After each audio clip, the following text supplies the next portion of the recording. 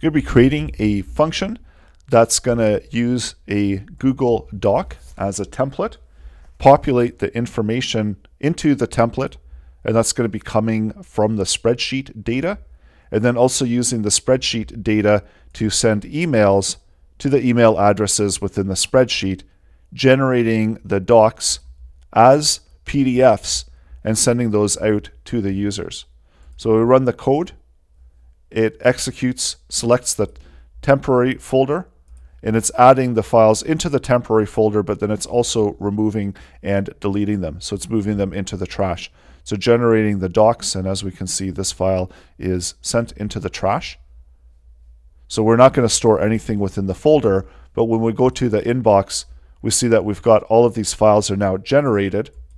And when we open it up, we've got a custom message and we select the PDF and we've got also the customized PDF that was generated within the app script that was sent out to the user.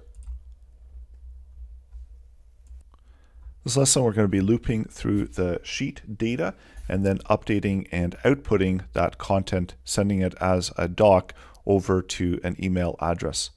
So let's create the function and I'll call it sender1. So this is the function that's going to select the sheet data. So we do have the sheet contents and we'll use the ID for the sheet and selecting the spreadsheet in order to get the contents of it. So that's the sheet object and using the spreadsheet app service we can get we can open by ID and then we've got the ID value that we can use. I'll also set up a variable that's going to contain the ID so that we can select it and reference it. So selecting it, opening it by ID. Within the logger log, I usually do try to just make sure that I do get the sheet object before I try to do any additional code. So make sure that we don't running any errors or any issues with it. Uh, so once we've selected it, then we can get sheet by name and then this is going to be selecting the sheet. Uh, the name of the sheet that we're using is going to be data, so we're just selecting out that sheet. And then once again, we can run the function, and we see now we've selected the sheet object. So we want to select the contents of the sheet, and just as we did before, we can get all of the data range. So we need to select the range, and using the get data range method, that will return back the full range of content from the sheet. And I'm actually going to set this in a separate object because this way we can still select the sheet object and update content into the sheet. So as we're getting the data from the sheet object, we're getting the data range. And then let's uh, get the values and output the values into the log just to make sure that we are selecting the values properly. So that's all of the sheet information. And notice that we are picking up the first row, which has the headers. So we want to remove that and we'll do that with a slice one. So that will slice the content and remove out just the first row. So that gives us all of the data content that we have within the spreadsheet. So what we want to do is we want to loop through the data sheet and using for each. And this is actually just going to be the row of content returned back with an array format. So we'll loop through each one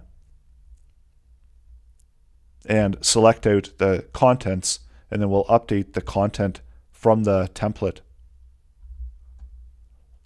Let's uh, select our template object so using the document app, open by ID, and this is where we need the document ID. So create a variable to hold that. So that's the doc ID. And select that so that we have a template that we can use in order to select ID. So that's our template and because we've got the headings of the sheets where we've got first, last ID, we can also use that information as we're selecting the content and we can loop through that content. And that's going to be contained within the first row of data. So let's actually slice that and then we'll get the rows as a separate value and that will use the data slice where we'll loop through and we're going to loop through each row item. And this way we can use the contents from data 0 and we can loop through them. Before they do that, then let's make a quick update so that we can make a copy of the template file. And we can't copy it using the document app, but we can select it and make a copy of it by using the Drive app service. And then this is where we're going to get the file by ID. So get file by ID, and then we're going to open it by its ID value. We also want to select a destination folder. So this is the folder where we're going to copy the file into. So I've created a temporary folder, select the ID of the temporary folder, and then using the Drive app, get folder by ID. And this will allow us to select the folder directly and allow us to automatically copy the new file into it. So once we've got the temporary file, we can make a copy of that file. So we've got the file that we wanted to use. And then we've got the folder we want to add it into. So temp, and we want to make copy of the file and add it into that main folder. And we want to return that back as an object. So this can be whatever the file object is. And then once we've got the copy of it, in order to get the document, we could use the document app service and open by ID. And this is where we need to get the ID of the file. So file and get the ID value of the file to return back that string value. So that will return it back as a usable doc. And then now in order to get the body, we just get the body of the document. And that allows us to interact with the contents of the body. Within the logger log, for now, let's log out the body just to make sure that the code is working, that we don't have any bugs in the code. And we'll do a quick run through of the code.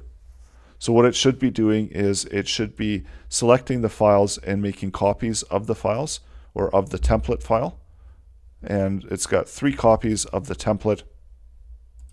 So that's ready to make updates to that template file and populate the information from the spreadsheet. So as we're looping through, we can update some of the properties of that spreadsheet. So let's loop through and now that we've got the heading information that's going to be contained within data 1, so within the first row using the index value of data, and this is also going to be a loop, so we can loop through each one of these headings.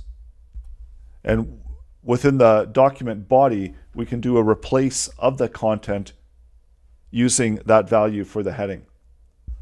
So we'll do a body object and then replace text. And of course, your string values for the headings have to match with what we've got within the template. Otherwise, this won't work. You can also hard code it for each individual line. So I'm going to use the template literals and the characters that we're going to be looking for are going to be the heading value.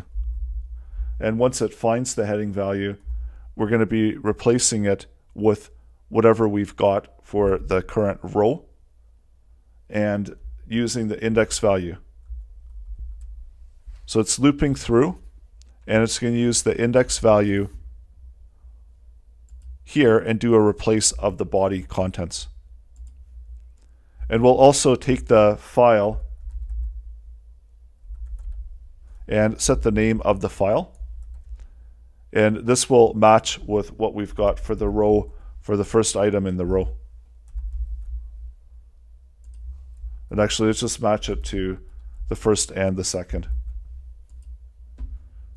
So run the code. And now going into temp, can remove out those previous files that we had there. And it's creating those files with the new populated information as it's generating those. So generating the new docs. And so what we can do is we can take the doc, convert it into a PDF, and then send it as an email. So let's go ahead and we'll do that. We'll, we'll get the blob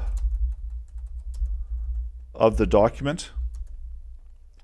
So that's using the doc. And if you get it as, and we're going to select the type to be a PDF, a meme type PDF, and PDF. So it's returning the doc back as a blob. And now let's construct the email contents. Where we want to get the email address of the, where we want to send the, date, the data to. So it's going to be contained within the row values, within the fourth item, within the row array. So it's going to be row with an index value of 3 is the email where we want to send it to. The subject for the email. And then the body can have a custom message if we want. So I'm going to use the template literals, so the backticks. And I'll use the values that are within the spreadsheet.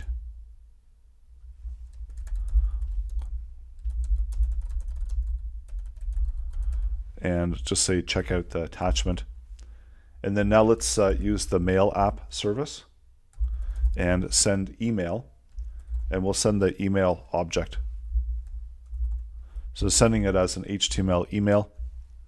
We're specifying who we're sending the email to. So that can just be the email address. Uh, parameter is subject. So we've already got a value for subject. And it's just using these variables here. And then for the HTML body object, this is where the body contents can go. And then as for attachments, we're going to attach the blob content and get as a meme type PDF. So it's going to send and uh, convert it into a blob and send the email. And then for the doc, and then for the file, let's set the trashed to a boolean of true. So that will remove the file that we've just copied from the temporary folder. And it looks like I used body again. So this is going to be the H body. And remove out that from the logger and save it. And let's run the code, see what happens. We need to accept permissions because we're getting new permissions for the app. So select the account that you want to use to run the code. And there's the new permissions that we're adding, send email as you. And that's the mail app service. So that allows us to send emails. And let's see what we've got within temp. So these are the previous files. And now let's check our email. So there's the emails that we've just created and sent out. So that's uh, the first email. So welcome, and there's a spelling mistake there, so we need to correct that. And it looks like it sent the emails, but it never updated the PDFs. So let's take a closer look and see what happened here, and then also update this spelling mistake. And the reason that it wasn't updating the PDF is that we need to close the writing to the document. So once we've finished writing to the doc, do a save and close function. And that way we can save, close it before we run and send the email. Let's clear these files out and we'll run it again. And then go to the inbox and clear those files as well. So that's our new file. And now we've got the updated version of the file as a PDF being sent out, as an email to the users from the spreadsheet.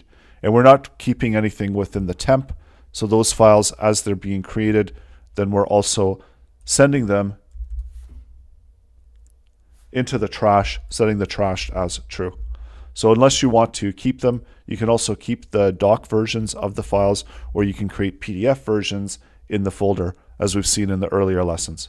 So go ahead and try it out and create your own version of the application that's going to send emails using the template, populating the information from the spreadsheet into the template doc, and then emailing them out as PDFs to the users.